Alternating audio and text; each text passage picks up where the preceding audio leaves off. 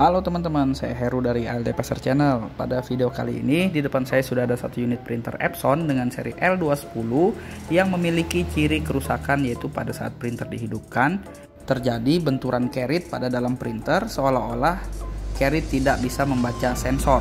Selain permasalahan bunyi benturan carried, kemudian printer ini sudah bisa dipastikan pasti blinking error, kemudian ada juga rembesan tinta yang bocor dari posisi pembuangan di bagian belakang.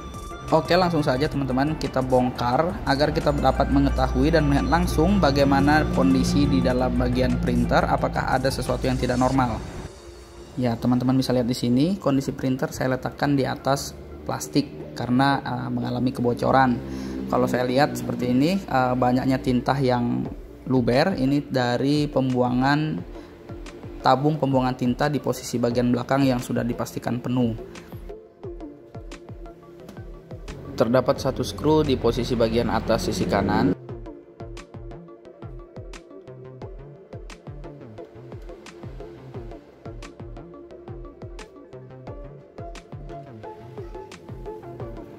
Dan di pada bagian bawah scanner, teman-teman bisa lihat di posisi bagian uh, bawah.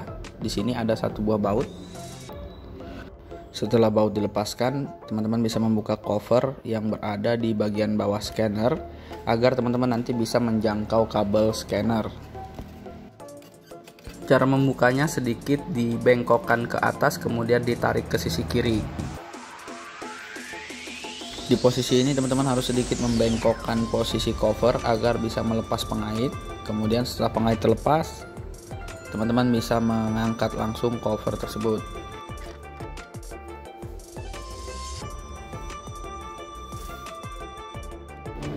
Kemudian angkat dulu scanner dari posisi bagian sebelah kanan kemudian geser ke kiri untuk melepas kabel scanner.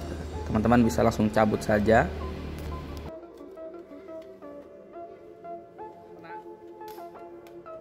Selanjutnya teman-teman bisa membuka cover daripada selang tinta dengan cara memencet dan menarik ke atas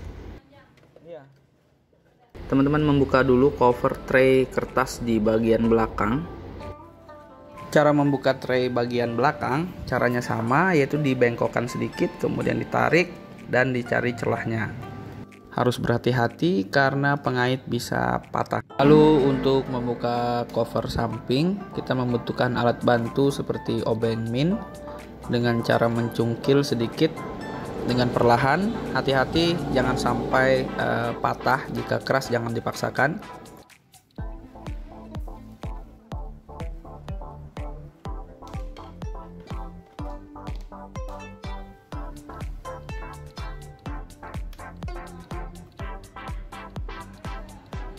Sebelum kita membuka cover sisi kanan dengan cara mengangkatnya, kita harus terlebih dahulu membuka tempat tabung pembuangan tinta karena uh, jika tabung pembuangan penuh ketika kita miringkan maka akan banyak tinta yang uh, keluar.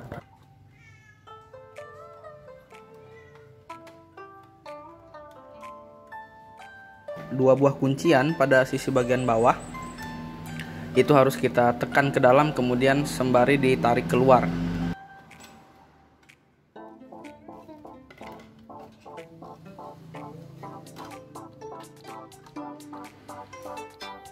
Música